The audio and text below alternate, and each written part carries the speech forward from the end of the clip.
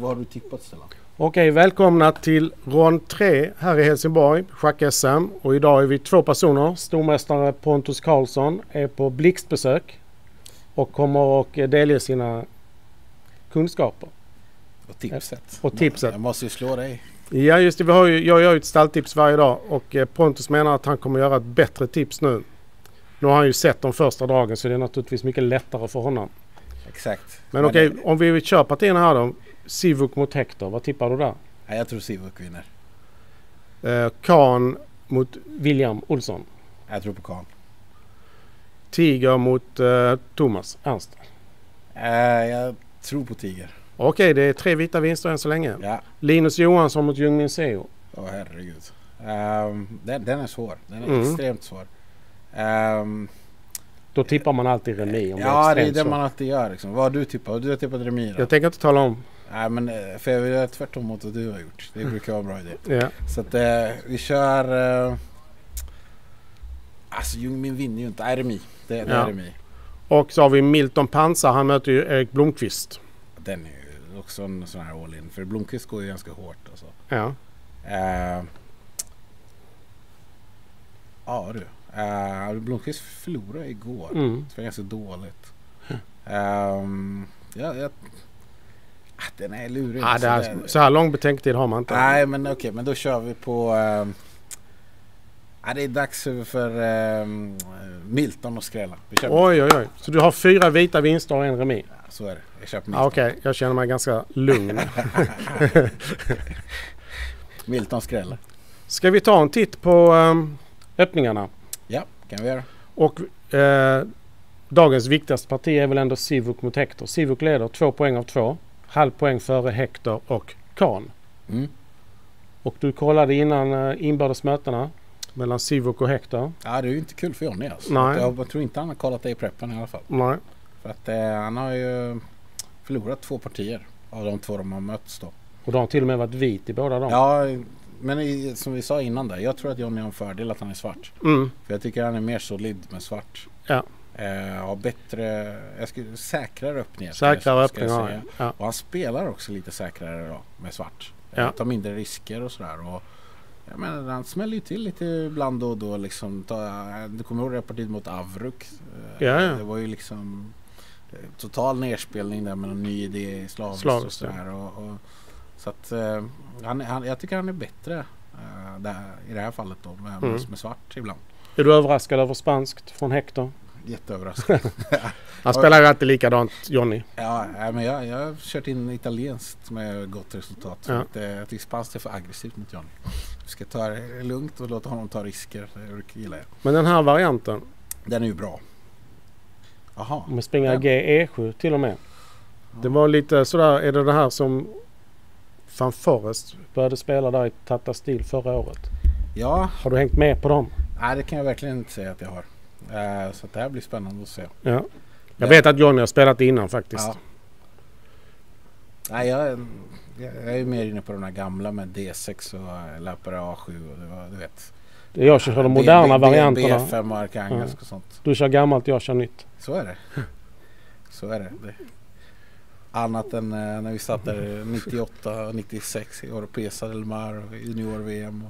Just det. Då var det du som kom, stod för de gamla varianterna. C3 Sicilianskt och sånt. Så ungdomen som kom med de här nya nyheterna. Och då när laptopsen kom också. Ja. Men vad säger vi om ställningen? Ah, det ju- alltså, det ju, Men det här med, men det här med att ganska normalt. F6 är spelat. Alltså det, det här är ju lite annorlunda liksom. Så. Jag, Det är ju det här draget som... öppna upp hela den diagonalen Mm. där och Det är, ändå, det är i alla fall en försvagning. Det jag, jag ändrar inte på mitt tips. Alltså. Jag, jag tror att Sivuk har bra chanser i det här partiet. Mm. Alltså. För att eh, han, han har också den stilen som inte, Johnny gillar. Mm. Du vet, väldigt tålmodig, teknisk. Du såg det där första partiet mot Ljungmin. Mm. Som var... Eh, alltså det var lite... Det var verkligen... Eh, öst, gamla östeuropeiska Mm. style liksom. Att man grindar ut motståndaren egentligen då. Men nu, nu kommer ju lite Hector. Nu kommer Hector med F5. FM är ju typiskt Mm. Johnny-drag då. Det, det, det där tänker han nog inte ens. Utan, Så nu är det ju laddat här med ja. alla möjliga slag. Ja, Och det, och det hotar ju helt enkelt. Oj, ja, det hotar ju F- F4. F4 är ju allvarligt. Och då Eh, så är den här, så att, eh, eh, E tar FM är väl en... eh, Oj. Är det du tänker först eller? Ja, det, man måste ju slå den. Och då tar man med Löparen. löparen. Det finns ju, man kan slå emellan också om det nu är någon poäng på det för det. Om, det- Mm. om det finns någon poäng i det. Så går ju det också att slå mellan först. Men, Att Ja, man skulle slå däremellan. ja. Sen. Det kan man ju fundera på. men, men är det inte bara löpare tar C6, eh, det tar E5 och sen så spelar vi med bättre struktur? Är, är inte det här en sån här klassisk? Det kommer att bli svag bonde där helt enkelt. är det inte så här man vinner mot Hector? Så det är därför du menar att man ska slå emellan eller? Ja, då, E tar det är ju i alla fall titta på. Jag, Mm. en, en, man måste ju räkna lite. Det är ju en F tar G. Det är därför du är här, för att räkna. Exakt. Jag tror du sköter det. Så kan jag sitta och säga vad den här strukturen Vad är det slag där? Slag på E3. Slag på H7. Och då Men är det ser, då är det schack. ser risigt ut för svart va? hit va, eller? Ja. Man brukar ju inte ta sådana. Jag gör den bara. Vi kan Och alltid så ändra är oss. en F tar E. Något sånt. Det här ser ju bara dåligt ut svart. Måste bara räkna bönderna. Ja. 7-5. Vi får nog ta på H7 i alla fall. Men det, det här ser ju Mm. dåligt ut. Det, det här funkar inte bra. Så att det, nej, då måste det Så- löparet FM självklart då. Så FM, Ja. slag. Men sen vill jag ta löparet av C6. Och då, då kan du inte ta emellan längre för då finns löparet D5 till en schack. Precis som jag nu skulle vara smart så schackar du Då här. är du för Och- smart. Och så är det pjäs under. Så det Så går inte alls. Så Så jag måste ta tillbaka. B gånger. Ja. Och sen, ta, sen D tar E5 bara. Ja, Men, vad, vad har du för struktur sen? Nu, här är det ju någon sån här Johnny att han ska springa F4 eller någonting och hålla på. Men, men jag tror inte det funkar. Eller Det var ju löparna också. Ska man slå på 1-3 då kommer man inte få någon svag bonde men man kommer få en bonde mindre till och med. Ja, du får ju en bonde mindre liksom. Och, och, jag menar, vad, vad är din kompensation här? Kan man förklara det för mig? Och sen är det ju också så här att du kan ju spela positionellt. Du vet, man Mm. springer det eh, någonstans. Och så, eh, Mm. Alltså, jag, Det är väldigt dåliga jag, jag vet inte. bönder här. Ja, men det här påminner, det är- ofta så här när jag vinner mot Johnny som brukar Mm. se ut ungefär så här. Att han tar någon liten risk och sen så får man eh, någonting att spela på och så eh, Men skulle man inte vara förvånad om det skulle vara liksom eh, dåligt redan nu? Johnny har ju ändå gjort normala dagar. Nu har han tagit med löparen i alla fall. Men, men är det något fel på löparet av C6? Jag, jag bara, vad, vad är det? För ibland finns det ju finns sådana spanska varianter där man får en bonde och så gör de någon Mm. springer F4 eller något så, så ska kompensationen finnas där då. Om du kollar, om du kollar måste, måste här- ta den nu. ja, Ta nästa är ju helt givet. Mm. Alltså. Och jag menar då måste du... Ja, det är nästan samma. Jag vill inte ha mitt torn på A7 sen. Att Nej, det, du, tar du, det. det är ju om det ska vara någon poäng att ha tornet på E1 då. Så att Mm. eh, om, om du, vi kan kolla den då. D tar E. Ja, Och så löparet tar A7. du måste, Tornet tar A7. ja. Och springer, vi måste ju kolla springare till E5. Springer C4 är ju också intressant. ja, just det. givetvis. Men, Men, eh, det är en bonde gratis där En bonde är en bonde. Eh, och sen springer F4 går ju inte ens. Eller ja, det går. Kan, dam B3 finns. Det, det, det går nog inte. Att Det springa finns, E7 det finns ju också. schackar och sånt Ja, där. nej, det där går inte. Springer F, du kollar den varianten då. Springer F4, springer tar C6 så är det kört. Tror jag. För att eh, springer E7 finns så... Så dam D5 till exempel som ser lovande ut. Det är jättedåligt. det är väldigt, väldigt dåligt. De G5 då? Ja, G5 finns. Ehm, Då hotar man ju ändå matt. ja, exakt. Men jag tänkte att man kunde göra dam F3 på det. Mm. Men... Men nu börjar det ändå se ut som en Hector-ställning här. Det är mycket svarta pjäser Ja, men här. det Men det är förmodligen helt inkorrekt. Det Men det finns lite grejer här faktiskt. och styrker mig ännu mer i min åsikt. Det gör det. Det här är ju en Hector-ställning, ton B7. Det är alltså schack och ta och så bara spela vidare. Men eh, ja, Ja, Jag hade velat ta där på. Jag vill inte ha det tornet på. Ja. okej men då slår vi på E3. Ja, så jag inte får det tornet på Ja. A7 där. Och torn tar Ja, självklart. Ton tar jag. Och här har du ju olika sätt att offra bonden på då. Men jag har svårt att se vad, vad som är riktigt bra. Det tar E känns ju logiskt. För att försvaga F2 på något sätt. Och då Mm. springer det gånger. Vi, vi tar allt. Mm. Och sen tänker sen. Ingen bra, ingen bra idé. Don't try this at home. Och sen så har vi liksom vad, vad är kompensationen sen? Jag provar bara att göra några Ja. så här enkelt Ja. och så dam F6. Så dam F6 ja. Och så okej, hoppas det- jag liksom. Just det, på F2 där. Det är där du försöker med. Men det är mycket långt. Springa F3 löpa G4. G4. Där har du en liten Då har kompensation. man en schack. Ja, Men där man har ändå press där lite men grann. H8.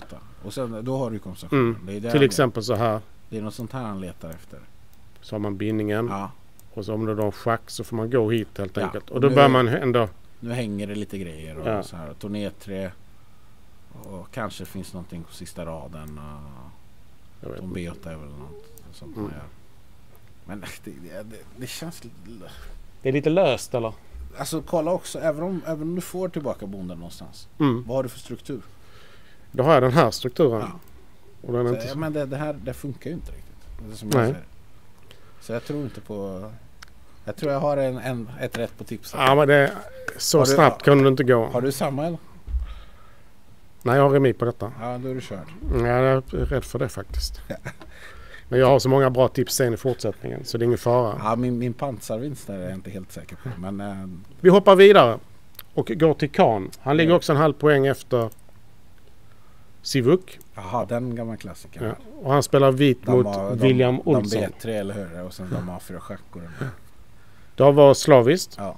ja. Avbytesvarianten. Men Kahn spelar ju inte det för att spela på remi. Nej, det gör han inte. Tvärtom. Han tänker vinna i, i den här varianten helt enkelt. Det tänker han. Och de här dragen är rätt så vanliga. Det Och det- teori. ja. Här kan man naturligtvis utveckla sig helt vanligt med springaren dit om man vill. Ulf Andersson.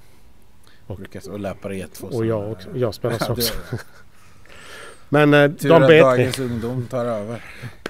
Det här är liksom den nya grejen. Hota och så spelar de hit. Jag spelat det mot Hector faktiskt. I SM. Ja, eh, smart. Blev det remi? Nej, jag vann. Ja, se där. Poängen med vitt spel är att man tvingar ner löparen igen. Exakt. Eh, och så får svart då till sist. Det kommer nu. Det tråkiga draget. Det han egentligen inte vill göra det är ju den. Ja. Han måste komma ut ju. ja, exakt. exakt. Och så, själva idén är ju också det att eh, vit ska då ha lite bättre pjäs. Eh, Alltså pjäserna ska vara lite bättre placerade. Mm. Jonny spelar ju ofta med springer C4 B5 då. Det är lite Mm. hans stil där. Det gjorde han också. Det tyckte jag inte alls var... Alltså öppningen hade jag ju ingenting speciellt i det partiet. Nej. Så att... Eh, Vi går fram till ställningen som vi har. ja. Och så har vi denna ställningen. Så här brukar man ofta spela dam E2, springa E5 och sådana saker. Så damen ska hit. Ja. För den ska inte stå i Nej. det gapet Nej där. exakt. Så Ska det stå något vitt torn här? På? Nej men ofta brukar man spela lite mer på kungsflygeln här. Alltså springer E5 Mm. och det finns också någon sån här löpardrag eh, som gör ibland. Löpare G5 tror jag. Så, sånt. så vilket drag vill du göra det draget nu då? Ja, eller springer E5. Springer E5 tror jag ska ofta komma först. Va? Då gör vi den. Om man tar den, vilken tar man med då? Eh, bonden så vinner du på H7. På- Exakt. Så därför kan man inte slå den helt Du kan ju visa den kanske också för Mm. att den är tydlig liksom. Och sen så är problemet att då när springaren flyttar så tappar man en bonde och den är ganska jobbig den bonden också. För sen går man tillbaka med löparen. Ja, det är ju Och Sen, katastrof. ja, sen kommer de E2 ändå. Så. Så vilket drag ska svart göra här? Ofta gör de ju, vi ska se nu bara så de har täckning då. Men B5 kommer ju ibland. Mm.